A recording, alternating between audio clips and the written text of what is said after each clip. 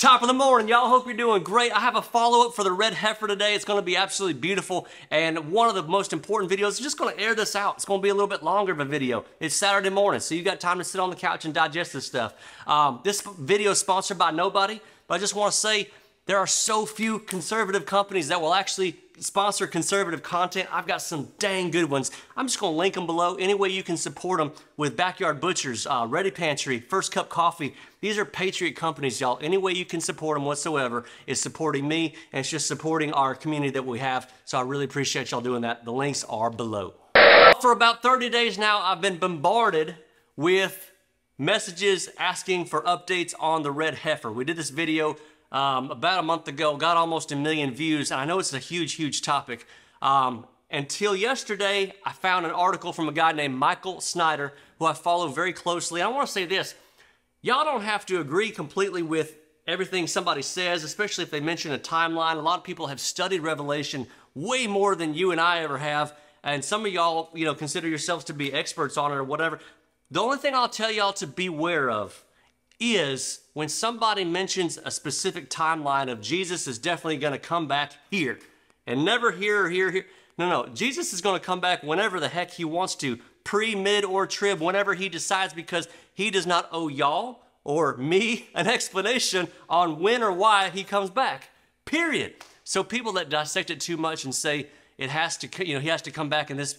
Some people I actually know, some Christians, um, and I've had to really, really get stern with them, I swear, y'all, they are more hung up on being right about the return of Christ and the exact timeline than they are with actually following and obeying Him.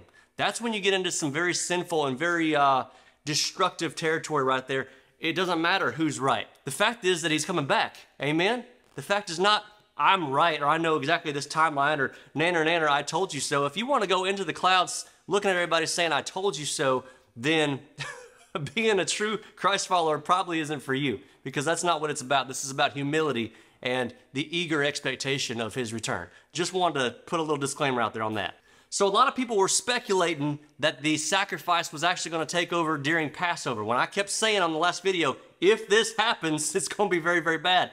It did not happen, obviously, because it would have made a very, very big ruckus, but that does not mean that it could be any day now still. Uh, Michael Snyder said in this article yesterday, he said, I'm entirely convinced that it is eventually coming with the sacrifice. But the truth is that the Ark of the Covenant discovery is going to be much bigger. So we're going to talk a little bit about the Ark of the Covenant uh, in this video as well. First, though, the red heifer. As far as red heifer goes, according to the Third Temple Institute, the red heifer can't be used in such a sacrifice until it's at least three years old. Okay, those are the guidelines.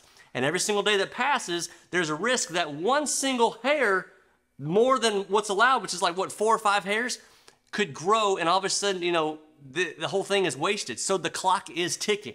Now, here's something that most people don't know. The people who are involved in this project have already spent more than a half million dollars.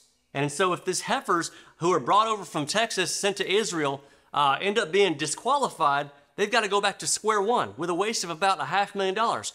One thing I want to stress is even if the red heifer is sacrificed, that does not mean that the third temple has to be built right away. In fact, we've been repeatedly told that the sacrifices could potentially start long before the new temple is even constructed. I want to let y'all know that Michael Snyder has repeatedly said, I want y'all to share this information. That's the only reason I'm pretty much relaying it verbatim because it's so important and I have a big platform to do this. So the following I'm going to read for y'all uh, comes directly from the website of the uh, Temple Institute, and y'all can check this out. I want you to see if I can put it down below.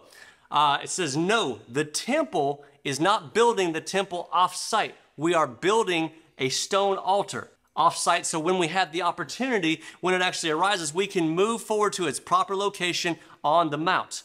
Now, for the Ark of the Covenant, once y'all hear that the Ark of the Covenant has actually been discovered, it's going to be one of the biggest archaeological bombshells in human history.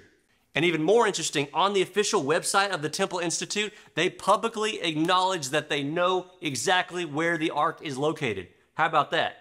It reads, while some claim to have evidence that the ark is actually in Ethiopia, of course, moviegoers were treated to the fanciful version of the story in Raiders of the Lost Ark. In reality, the expression lost ark is not an accurate description for the Jewish people's point of view because we've known where it is all along. So the ark is hidden and hidden quite well, but it's not lost. Tradition records that King Solomon built the first temple. He already knew through divine inspiration that eventually it was going to be destroyed. Thus, Solomon was the wisest man in the world. He oversaw the construction of the vast systems of labyrinths and mazes and chambers and corridors underneath the Temple Mount that was really complex. Solomon commanded that a special place be built in the bowels of the earth where the sacred vessels of the temple could be hidden in case of approaching danger. So it's been recorded, and they say they know today, right now, as we speak, they know exactly where the ark is. The ark has been there all along, my friends, undisturbed and waiting for the day that it actually gets discovered. By the way, there was an attempt that was made years ago to excavate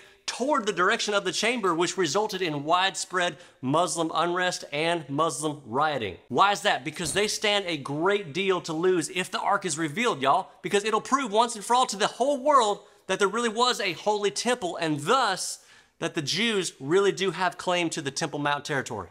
If you're wondering, by the way, the Muslims' view is that there never was a holy temple and that the Jews have no right whatsoever to this place. So when the ark is revealed to the whole world, it will shock the entire planet. Michael Snyder ends by saying, there's a lot of scholars out there that believe Moses never existed. There's a lot of scholars out there that says the ark was just a little box or a basket. Once the Ark of the Covenant is uncovered, y'all, it'll confirm Moses and the Ark of the Covenant really existed just like the Bible says. It'll also confirm that God really did make a covenant with the people of Israel at Mount Sinai. Wow. So when this is finally revealed to the whole world and they've discovered the Ark of the Covenant, this will change everything. Pretty big news. We wait every single day, uh, and I have no idea when it's going to happen, and it's all probably going to be in secret, but I'll tell you, it may bring some dark stuff, like I was telling you in the last video, but God said it, so it has to happen. So just hold on, buckle up, and trust in Him. Hope y'all enjoyed this. This is to be fun. We're to watch it very closely. God bless y'all. Be good.